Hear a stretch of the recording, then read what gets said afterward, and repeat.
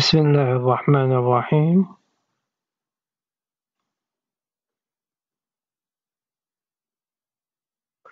الحمد لله والصلاة والسلام على رسوله وآله وصحبه وسلم أجمعين.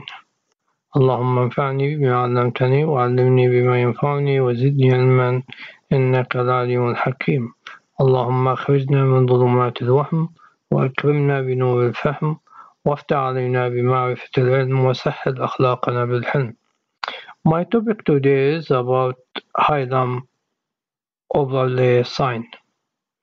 What is Hilum overlay sign and what is its significant in evaluation of mediastinal masses and some examples.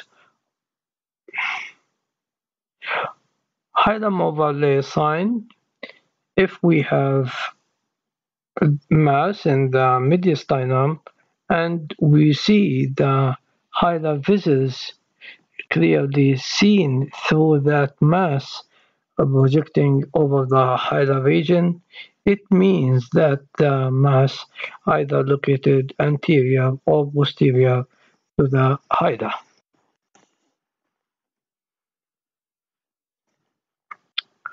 Here we see patient with the right mediastinal mass and that and the hilar vessels, we see the hilar vessels through that mass on the right side. So the mass either located anterior or posterior to the hilum. But here we have another sign is that mass it is silhouetting with the heart.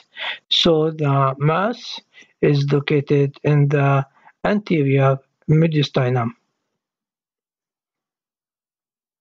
and also we have the some bulging of the para aortic line and the CT scan of this patient that mass it is located as we said in the anterior mediastinum and has some calcification and proved to be malignant thymoma.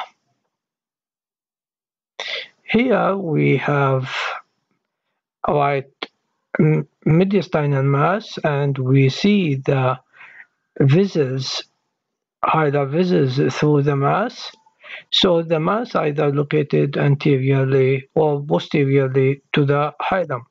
But here that mass is is not silhouetting with the heart.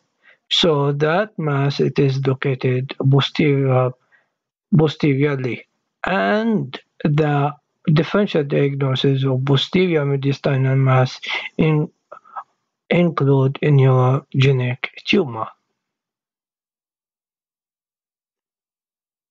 And this mass it is and in your genetic tumor. Thank you for listening and hoping to see you soon in another talk.